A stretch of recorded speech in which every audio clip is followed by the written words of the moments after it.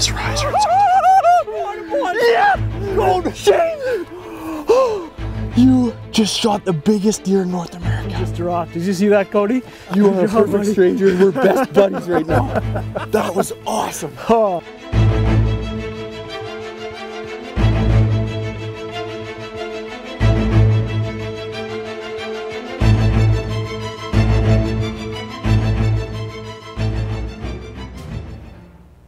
Imagine a life where all your hopes and dreams come true. Heck of a bull, man. Oh. Where somehow you find your way. Oh my gosh, there he is. If it was only that easy, but something so glorious could never come for free. It takes sacrifice and determination. I say that life is too short not to do what you love every single day. And I say it's too short not to spend it with the one you love. We're Cody and Kelsy Robbins. And we live to hunt. I was like, I couldn't see him. Give me the crossbow, I'll shoot it. Awesome buck. Nice. what a beauty. Sorry.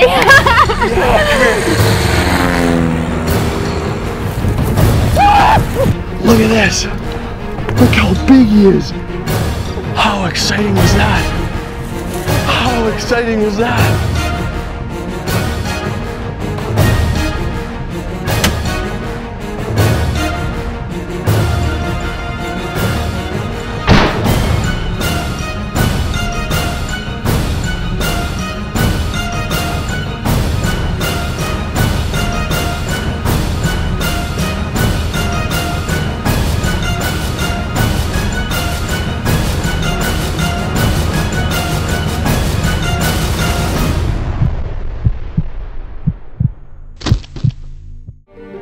In last week's show, we were in hot pursuit of a giant non-typical muley buck, an old brute that handed us our lucky shorts on a platter over and over again. Everything from swathers, wind direction, and an overabundance of bad luck left us licking our wounds, bringing you up to speed. Once again, my best friend Shaner and I were digging deep in hopes to change the momentum on our worst archery mule deer start in history.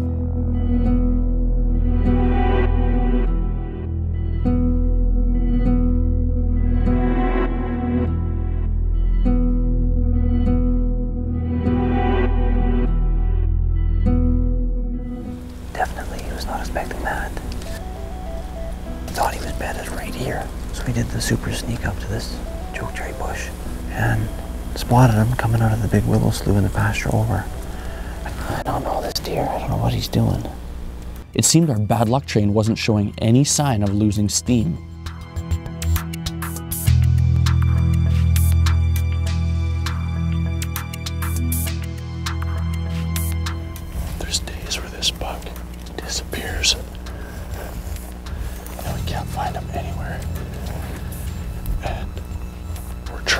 Hoping to think that he goes right where we're going right now. It's a tiny little spot that's out of the way. And it's dangerous because we're going right into his house, if that's where it is. And there's no vantage anywhere. Risky as hell, but if that's where he is, we gotta try.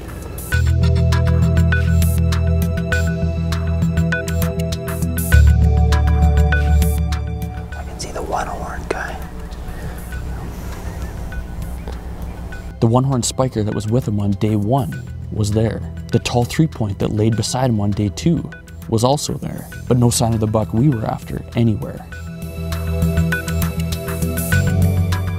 I don't know. I think we're wasting our time. We can't see him. We can see his three buddies.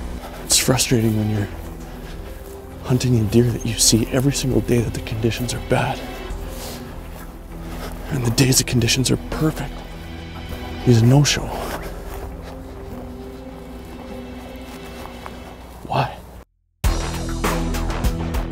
This buck had us frazzled and had stolen our confidence out of our front pocket. Something had to give. One of my best buds, Dustin Flundra, leaves an open invite for me to come film a lucky Alberta resident hunting elk for the season opener on his ranch every year. In years past, it's been a slam dunk, a game rich environment that's an absolute honor to experience. This was the perfect opportunity to get away and a chance to change our negative momentum for the good. It was incredibly hard driving away from that buck, but I think it was exactly what Shaner and I needed, and the buck too, if we were ever going to get them.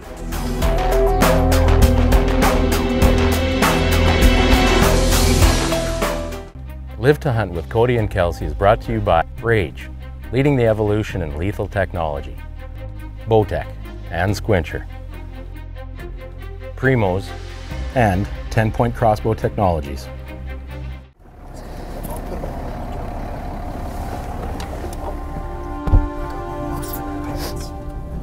We made it to uh, Dustin's house. Met Rod and Scott and Brent. I've been texting Dustin back and forth for the last three days. He's been telling me about all these big bulls have been out here, and it's been a really, really good year for elk coming out. And the rut started. I think we got a really good chance. We're kind of hoping that a whole bunch of pressure gets lifted off our shoulders this morning.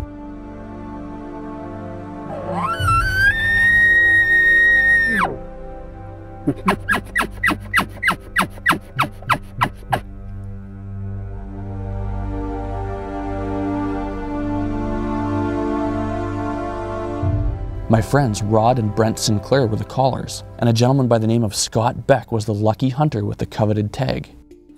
So we've got a bull that's answered us over here, and three, three or four across here. They're strung out all over. This is the bull we turned down last night. How big is he, Rod? Uh, this is a 355 class bull. He's a beauty. All wallowed up, all by himself. Just kind of coming in here looking for cows with these few bugles. He could be one of them that's just hanging there, and if he's still by himself, I think we can bring him in on a fish hook. We're gonna try. We have six or seven different elk screaming all around us. I can't imagine how we're not gonna have some exciting action happen right away. Walking through the dew soaked blades of grass on this, the seventh day of September, and lived to hunt without a successful hunt on camera since home opener. I was praying the elk gods would reward us on this day.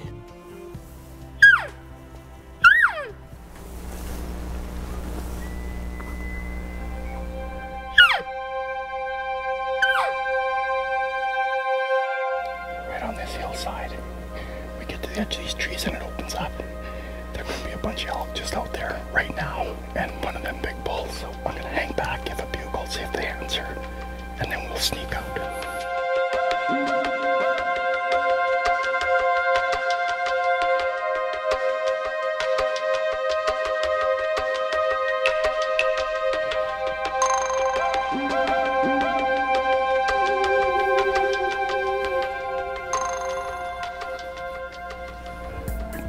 Might be right on the trail of that one. Yeah.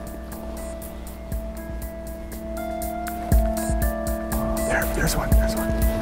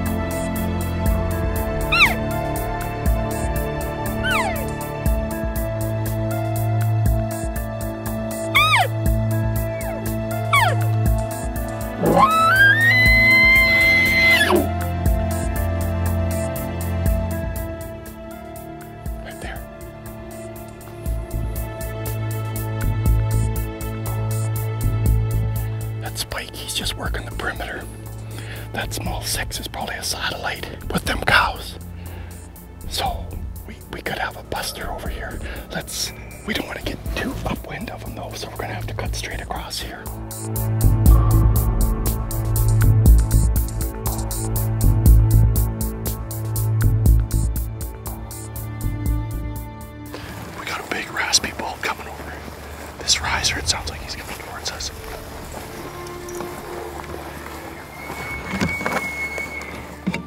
Get ready, Scott, because he's gonna pop up off the edge there, and he's gonna we're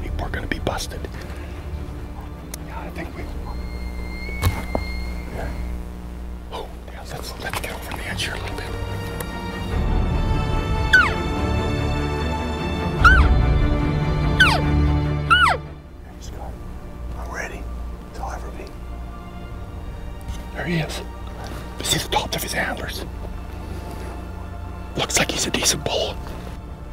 Here he comes. Is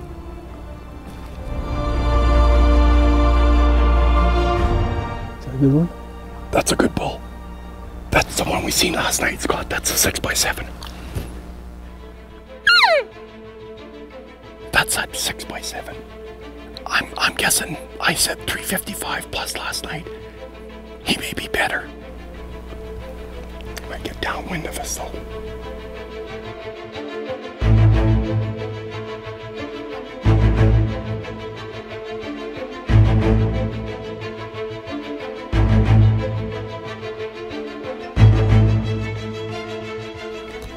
Shoot him in the neck if you have to, if that's all you see.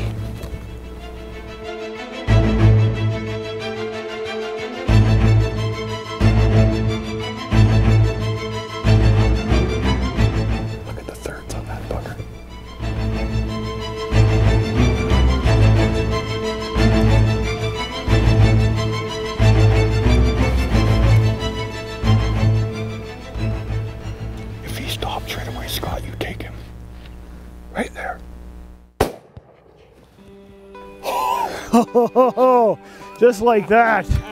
Nice. Thanks, guys. That's the same bull as we saw last night. His thirds or something else. Oh, Scott. He just dropped. Did you see that, Cody? You are a perfect stranger and we're best buddies right now.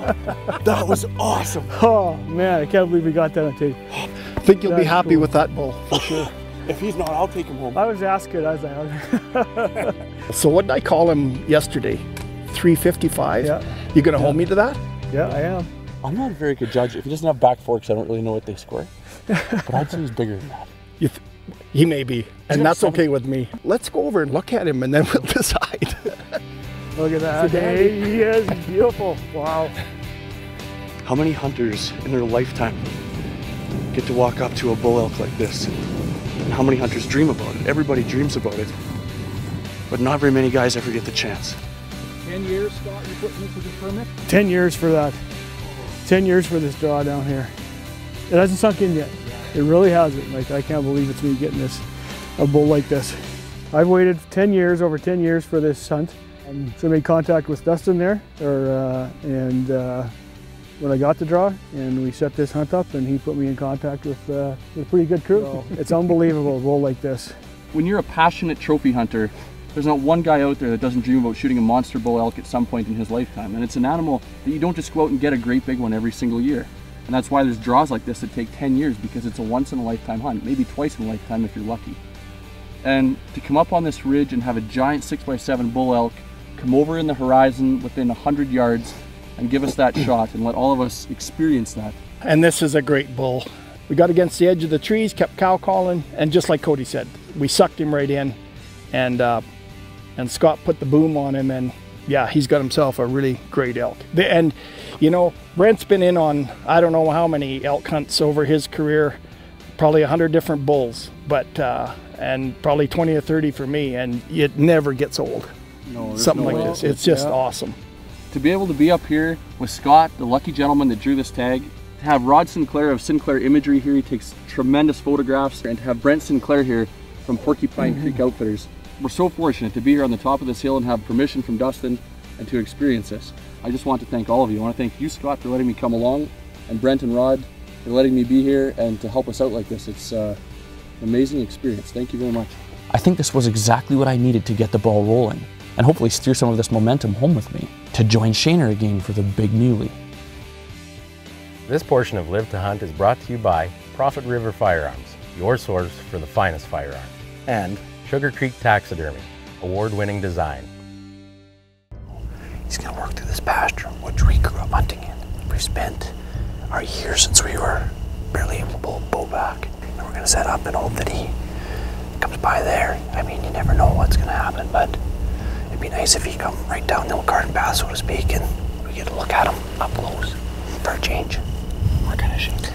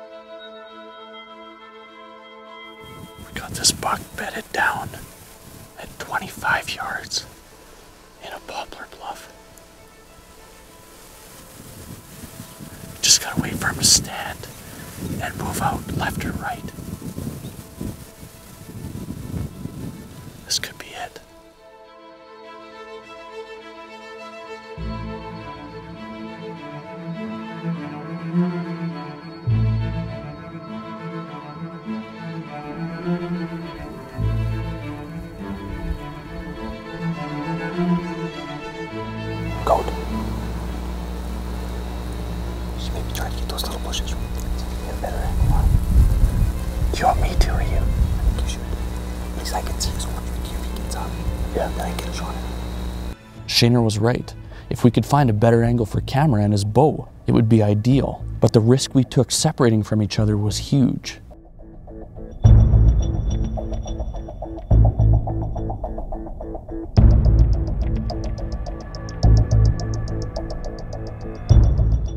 As I was crawling through the thorns, I heard a grunt come from Shane behind me and realized he was pulling his bow. I could see nothing of the buck, so I zoomed up on where I thought he was and waited.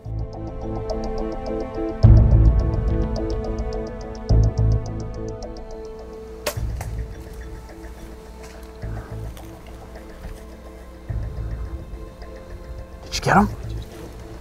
You just drilled him? Come on. Come on. You drilled him. You honestly did.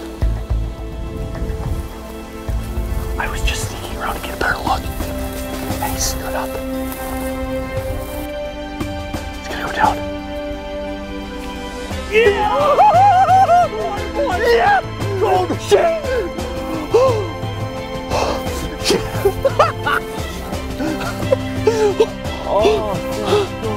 you just shot the biggest deer in North America.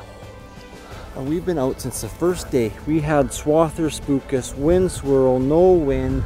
Shane, the swathers didn't spook us. They didn't. Holy I know you hear us say meant to be, meant to be stuff, but we put our heart and soul into this buck and we have worked, we put our life into this. For us to kill a great big muley. Live to Hunt with Cody and Kelsy is brought to you by Mossy Oak. It's not a passion, it's an obsession. Stealth Cam ZX7 series. The game has changed. Heater bodysuit. You stay warm or your money back. Block targets and Vortex. Thompson Center and Black Eagle arrows.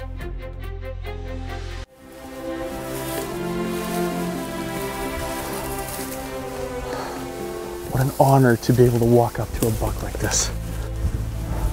One of the biggest moments in the guy's hunting career.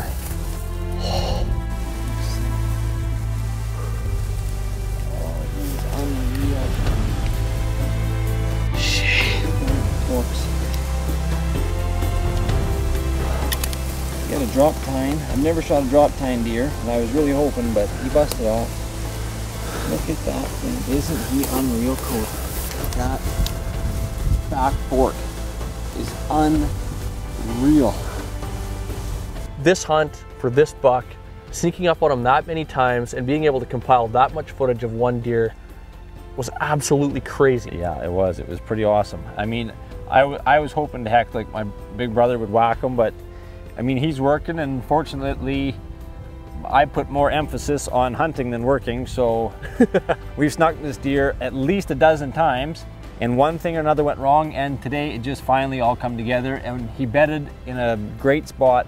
We had the wind; it all worked out, and what Absolutely. Can you say? He's fantastic. These these points are ridiculous. His back forks are incredible. Big crowns and splits and hooks. It's unfortunate he bust off that front point. We don't know what happened. Even with those points broke off, he still has 1, 2, 3, 4, 5, 6, 7, 8, 9, 10, 11, 12, 13, 14, 15, 16, 17, 18, 19, 20, 21, 22, 23 scoreable points. And he's changed a little bit from the year before. He's got a little bit bigger typical frame the year before and bigger, longer stickers and just more stickers this year. But he's a classy looking Yeah, buck. he's pretty awesome. And Shane, you made a wicked shot with your Bowtech bow, your Black Eagle arrows, your Rage broadheads, and I just want to congratulate you, man. Thanks, Code. I appreciate it. It's always a pleasure when we get oh. together. Sometimes hunting can get the best of you, and it's easy to lose confidence. Once a situation turns negative, sometimes the best thing to do is just walk away from it and clear your mind. I think the reason we got this big old buck, the elk hunt got our confidence back. And when we returned to mule deer country, we were fresh again, thinking more clearly. So the next time you're losing the battle in hunting country, maybe take a day off. It might be all you need to succeed.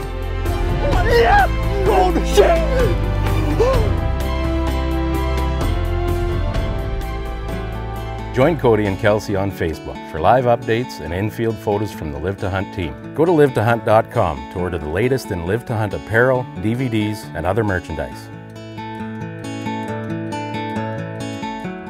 Next week's previews are brought to you by Squincher, hydration that works. Next week, we're headed to the Yukon to hunt the most beautiful, untouched wilderness left in North America, to hunt for mountain grizzly bear and the mighty Alaskan Yukon moose. It has been my dream since I was a little boy to shoot a giant bull over 60 inches, and this show is my favorite of the year for good reason. See you next week.